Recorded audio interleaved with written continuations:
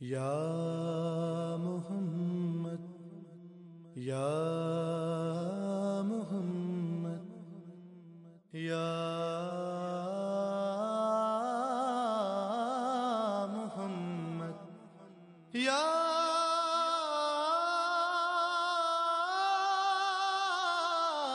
یہ ایک ایسے کریم جشن کا اجتماع ہے کہ اگر اس کی ذات نہ ہوتی، تو صرف یہ اجتماع نہیں، کائنات میں کوئی بھی اجتماع نہ ہوتا۔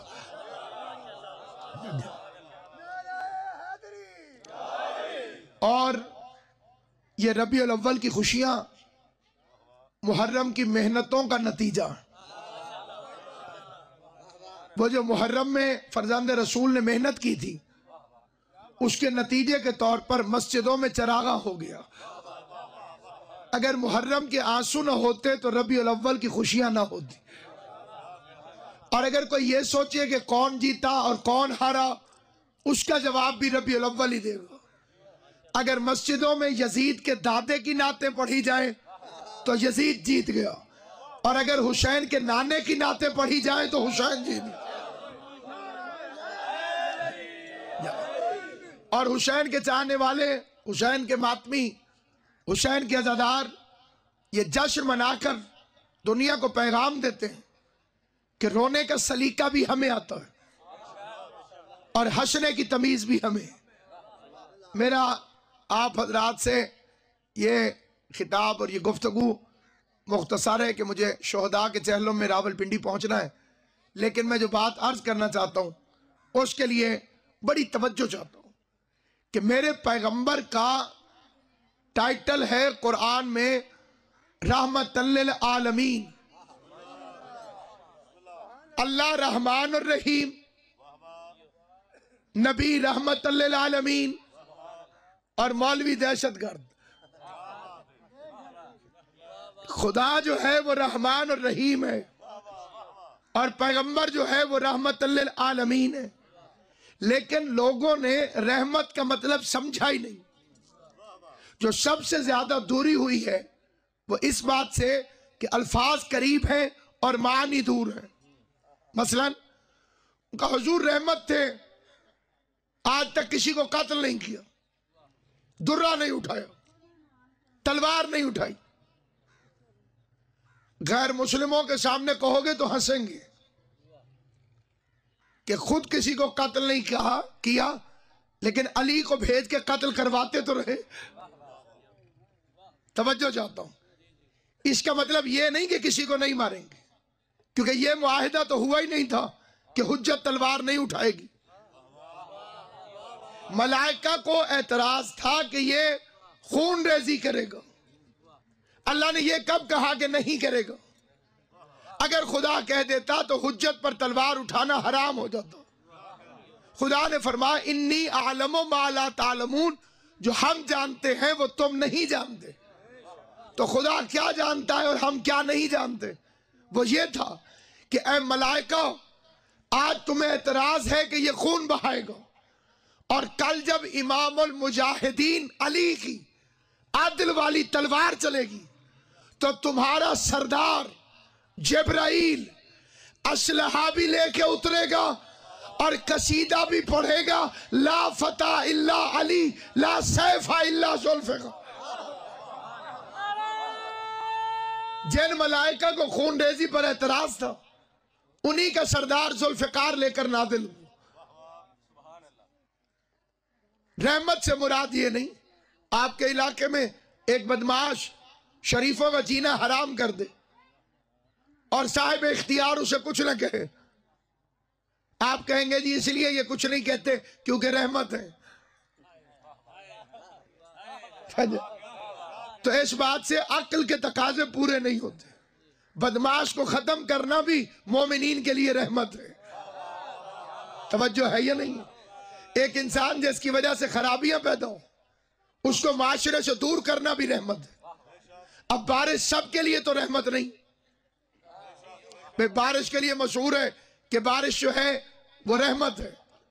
لیکن سب کے لیے کہو ایک کائنات میں کہتے ہیں کہ مصطفیٰ نے کبھی کسی کو نہیں مارا۔ مصطفیٰ رحمت تھے اس لیے کسی کو قتل نہیں کیا۔ مصطفیٰ رحمت تھے اس لیے تلوار نہیں اٹھائی۔ میں مذہب اہل بیت کے ممبر سے ادنا سا ذاکر حسین ہونے کی حیثیت میں باواز بلند انہیں بتاتا ہوں کہ نبی تلوار تو تب اٹھاتے اگر علی اٹھانے دیتے۔ علی نے کسی کو نبی تک پہنچنے ہی نہیں دیا۔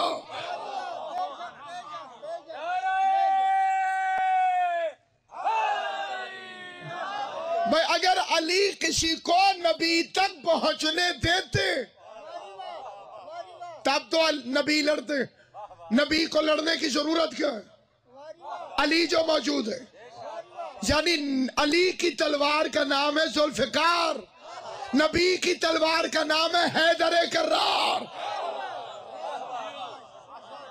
ایک درجہ اس سے آگے کا ہے۔ اور وہ درجہ یہ ہے کہ اگر کوئی لڑ نہ سکے تو وہ بد دعائیں دیتا ہے۔ کمزور کی قبلہ شیخ صاحب، امام حسین آپ کو صاحب کمزور کی ایک طاقت ہوتی ہے دل کی بھڑاس نکالنے کے لیے بد دعائیں دیتا۔ اور یہ وہ نبی ہے جس نے کبھی کسی کو بد دعا بھی نہیں دی۔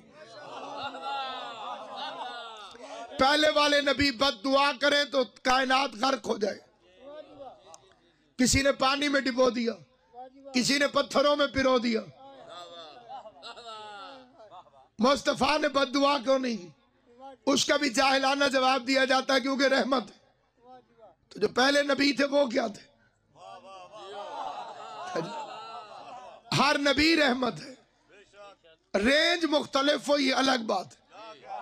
جہاں جہاں تک کے لیے نبی، وہاں وہاں کے لیے رحمت۔ مصطفیٰ کی رینج ہے عالمین تک۔ اور عالمین کے حصے دار میں نے تین دیکھے۔ یا اللہ ہے الحمد للہ ہے، رب العالمین۔ یا مصطفیٰ ہے، وما ارسلنا اللہ رحمت للعالمین عالمین کے بھائی وال دو ہوتے تو میں بھی محمد رسول اللہ پہ رک جاتا ہوں۔ اگر اللہ عالمین کے حصے دار دو بتاتا ہوں، تو میں بھی یہاں رک جاتا ہوں۔ اللہ نے عالمین کا تیسرا بھائی وال بتایا۔ لقد اخترناہم علی علم علی العالمین۔ ہم نے ایک خاندان کو ان کے علم کی بنیاد پر عالمین کا مختار بنا دیا۔ ہم نے عالمین کا مختار بنا دیا۔ اور ہوم کا لفظ گواہ ہے کہ جمع کا سیگا ہے۔ لوگوں نے الیکشن سے بنائے لیکن ہر خاندان سے ایک ایک۔ کیونکہ خاندانوں میں ایک ہی ہوتا ہے۔ غالب کو بھی کہنا پڑا۔ کیس جیسا بنی عامر میں دوسرا نہ ہوا۔ پورے قبیلے میں سے ایک ایک۔ اور ویسے بھی ایک مشہور ہو جائے تو باقی مشہور نہیں ہوتے۔ ابا جی مشہور ہو جائیں تو بیٹا جی مشہور نہیں ہوتا۔ شہرت شہرت کو دبا دیتی ہے۔ باپ مشہور ہو جائے تو بیٹا مشہور نہیں ہوتا۔ کیا کہنے آل محمد تمہارے؟ مصطفیٰ کی اپنی شہرت ہے۔ علی کی اپنی شہرت ہے۔ حسن، حسین ان کی وجہ سے مشہور نہیں، ان کی اپنی شہرت ہے۔ حد ہو گئی ان کی قبروں کی شہرت بھی کسی کے ساتھ ہونے کی وجہ سے نہیں۔ توجہ ہے۔ ان کی قبروں کا یہ ایڈریس نہیں کہ فلاں کے ساتھ۔ اس طرح سے اگر کوئی دفن ہوتا تو گمنام ہو جاتا۔ یہ جنگل میں گئے تو محلہ بنا دیا۔ مشہد میں گئے تو مقدس بنا دیا۔ کازمین میں گئے تو شریفین بنا دیا۔ نجف میں گئے تو اشرف ہو گیا۔ یہ شہرت میں کسی کے محتاج نہیں۔ ارسلنا کا اللہ رحمت للعالمین۔ کیوں بد دعا نہیں کی؟ پہلے یہ وجہ سمجھیے کہ جنہوں نے بد دعا کی انہوں نے کیوں کی؟ ان نبیوں نے جو بد دعا کی، ان کی بد دعا کے بعد اللہ نے فوراً ایکشن نہیں لیا، بلکہ محلت دی۔ نو نے فرمایا، عذاب بھیج اللہ نے کھجوریں بھیج دی۔ کھجوریں کھا، گٹھلیاں کٹھی کر، گٹھلیاں بو کوپلیں نکلیں گی۔ حفاظت کرنا، درخت بنیں گے، درختوں کو کاٹنا، پھر بھٹے بنانا، پھر کشتی بنانا۔ یہ بزدلی نہیں محلت ہے۔ کہ اگر اتنے عرصے میں کوئی توبہ کرنا چاہے تو کر رہے۔ نبی اللہ سے کہتے تھے، عذاب بھیج۔ اور اللہ فرماتا تھا، کچھ ٹھہر جاؤ۔ اور اس نبی سے اللہ کہتا تھا، عذاب بھیجوں۔ اور یہ پلٹ کے کہتا تھا، ابھی ٹھہر جاؤ۔ انہیں میری معرفت نہیں۔ سامعین گرامی، پہلے والے نبی اس لیے بد دعا کرتے تھے۔ کہ ان کی دلیلیں ختم ہو جاتی تھی معبود دلیلیں ختم ہو گئی اب سمجھانے کے لیے کچھ باقی نہیں۔ عذاب بھیج۔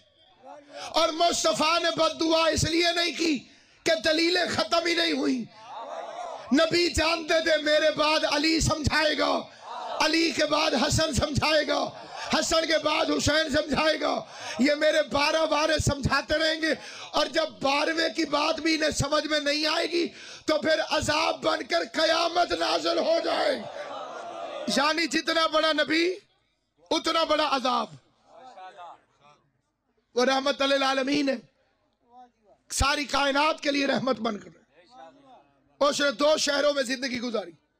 ایک مکے میں، دوسرا مدینے میں مکے میں اقلیت، مدینے میں حکومت مکے میں اقلیت میں، مدینے میں حکومت میں۔ اقلیت میں رہے تو کیسے رہنا چاہیے؟ وہ بھی سکھا دیا۔ حکومت ملے تو کیسے رہنا چاہیے؟ وہ بھی سمجھا دیا۔ مکے میں عورت کوڑا پھینکتی ہے۔ وہ پھینکتی ہے، یہ تاریخ میں لکھا ہے۔ حضور میں گرتا تھا، کوئی ثابت نہیں کر سکتا۔ سلامت ہو کیونکہ یہ ہے انکم الرجس۔ رج سے ان یعنی کے قریب نہیں آ سکتا۔ اس لیے سامعین گرامی قد وہ کوڑا پھینکتی تھی، یہ حقیقت ہے۔ حضور پر نہیں گرتا تھا، یہ قرآن ہے۔ ایک دن نہیں آئی، پریشان ہو گئے۔ اور پوچھنے لگے کہ وہ کہاں گئی؟ پتہ چلا بیمار ہے۔ پوچھنے چلے گئے۔ عیادت کرنے چلے گئے۔ اس کے مشکیزے میں پانی بھرا۔ اسے دوا لا کے دی۔ کچھ رقم اس کے تکیے کے نیچے رکھی۔ جاتے جاتے کہنے لگے، میں علی کو بھیجوں گا۔ کوئی اور ضرورت ہو تو بیان کر دینا میں عرض کروں، یا رسول اللہ، اگر وہ کوڑا پھینکتی تھی تو آپ گلی بدل لیں۔ آپ وہ گلی چھوڑ دیں۔ عجب نہیں حضور فرمائے، جو حق پہ ہوتا ہے وہ روٹ نہیں بدلتا۔ تو اس کا مطلب یہ ہے کہ جیسے ڈاکٹر کہتے ہیں کہ جواب دے دیا۔ میں جواب دے دوں تو میرے بعد کون آئے گا؟ یہ بدلے گی میں نہیں۔ میں کہتا ہوں، یا رسول اللہ، جب گھر میں اکیلی تھی تو دوا دینے کی بجائے گلا دبا دینا چاہیے تھا۔ اندر جاتے اور کہتے، الجہاد الجہاد، لبیک لبیک۔ کافر مذمت سے نہیں، مرمت سے ٹھیک ہوتے ہیں۔ فرمایا، اگر میں کافروں کو مارنے آیا ہوں تو میرا اللہ پیدا کیوں کرتا ہے؟ توجہ ہے یا نہیں یار؟ یہ ایک غلط تصور نوجوانوں کے ذہن میں دیا جاتا ہے۔ کافروں کو مارو، یہودیوں کو مارو، عیسائیوں کو مارو۔ اور حضور فرماتے اکرم الضیف لو یہودین و نصرانین۔ مہمان کی عزت کر، چاہے یہودی ہو، چاہے عیسائی۔ تو پہلے تو حضور کو چھوڑو، جو یہودی اور عیسائیوں کی عزت کروا رہا۔ لوگ تشدد سے نہیں، کردار سے بدلو۔ پیغمبر کافروں کو قتل کرنے نہیں آیا، کفر کو قتل کرنے کے لیے آیا۔ دوری بیمار سے نہیں، بیماری سے ہوتی ہے۔ بیمار سے نفرت کرو گے تو بچے گا کون؟ بیماری ختم کرتے ہیں۔ بیمار کو تو ختم نہیں کرتے۔ یہ ہے مکہ۔ ایک عورت نکلی گھر سے۔ سامان زیادہ اٹھایا نہیں جا رہا۔ مکے کی عورتیں، عرب کی عورتیں گھر سے نکلتے وقت سوچتی نہیں تھی کہ یہ وزن میں اٹھا بھی سکوں گی کہ نہیں اٹھا سکوں۔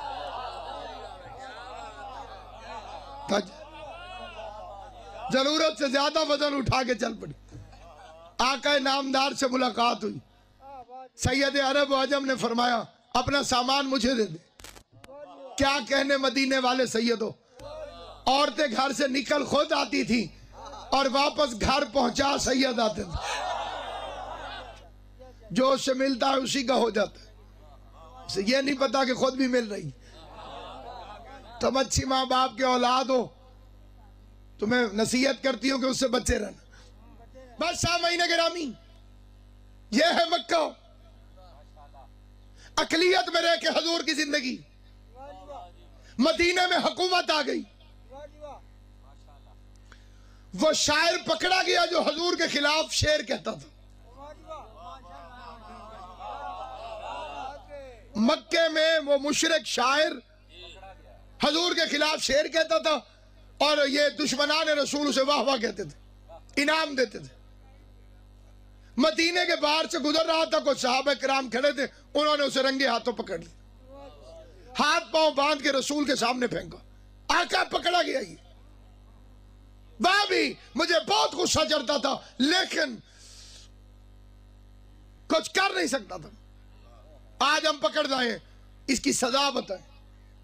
حضور نے اسے دیکھ کے کہا، اس کی سزا یہ ہے کہ اس کی زبان کاٹ دی جائے۔ بڑے بڑے بزرگ آگے بڑے حضور نے فرمایا، تم بھی نہیں، تم بھی نہیں، تم بھی نہیں۔ علی کہاں ہے؟ حکیم صاحب، علی اگر لبیک، علی تومش کی زبان کاٹ دو۔ تاریخ کانپنے لگی۔ یہ وہی ہے جو مکے میں پتھر مارنے والوں کو دعا دیتا تھا۔ کانٹے بچھانے والوں کے ساتھ جی عیادت کرتا تھا۔ اپنے خلاف بولنے والی کو گھر چھوڑ کے آتا تھا۔ اور آج حکومت کیا ملی؟ رنگ ہی بدل گئے۔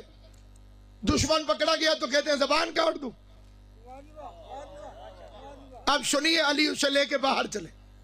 پیچھے مجمع چلا میرے مولا کا ہی فرمان، ایسے موقع میں بندے کٹھے ہو جاتے ہیں۔ علی فرماتے ہیں، تف ہے اس ہجوم پر جو تماشا دیکھنے کے لیے کٹھا ہو۔ تماشا دیکھنے کے لیے لوگ جلدی کٹھے ہو جاتے ہیں۔ امیر المومنین اسے شہر سے باہر لے کر گئے۔ باہر پہنچتے ہی علی نے اس کے ہاتھ کھولے۔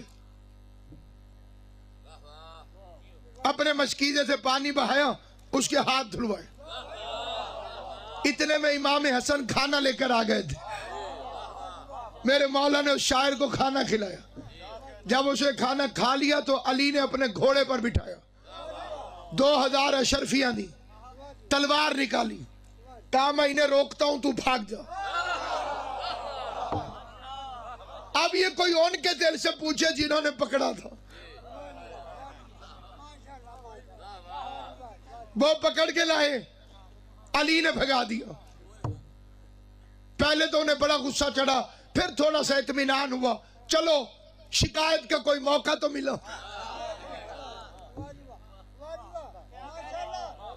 مسجد میں آئے شکایت لگانے۔ یا رسول اللہ، آج علی نے خضب کر دیا۔ آپ ایسے ہی ہر وقت علی کے فضائل پڑھتے ہیں۔ علی میرا بھائی ہے، علی میرا وارث ہے، علی میرا وسیع ہے۔ دیکھیں علی نے کیا کیا۔ پیغمبر نے پوچھا، کیا کیا؟ کہا، آپ نے کہا تھا زبان کاٹ دو، علی نے چھوڑ دیا۔ کھانا بھی کھلایا۔ دوسرا بولا، گھوڑا بھی دیا۔ اور ایک بولا، پیسے بھی دی پیغمبر کے چہرے پہ تبسم آیا۔ فرما، علی میری بات سمجھ گئے۔ تم میری بات نہیں سمجھے۔ چپ کر کے حضور کے سامنے کون بولے؟ پھر گھر گئے تو وہاں بھی کون بولے؟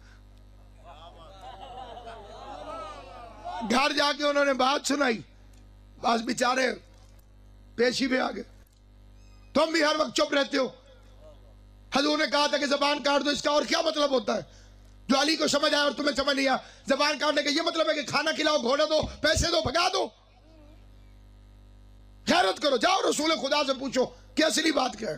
ہمیں بھی سمجھائیں جو علی کو سمجھ آیا۔ رات بیچاروں نے بڑی مشکل سے کاٹی۔ صبح کی نماز حضور کے پیچھے پڑی۔ بڑے پریشان تھے اور ایک دوسرے کو اشارہ کر رہے تھے، تو پوچھ۔ اور دوسرے کہہ رہے تھے تو پوچھ۔ با اتنے میں پتہ چلا کہ پیچھے کوئی آیا ہے۔ مڑ کے دیکھا تو رات والا شاعر گھوڑا باندھ رہا تھا۔ اسے گھوڑا باندھ کے وضو کیا۔ وضو کر کے حضور کے سامنے آیا۔ پہلے پہلے پاؤں چومے اور پاؤں چوم کے اس نے جیب سے ایک پرچہ نکالا۔ کیا لگا، پوری رات نیند نہیں آئی سرکار ایک نات لکھ کر لایا ہوں۔ اجازت ہو تو سنو۔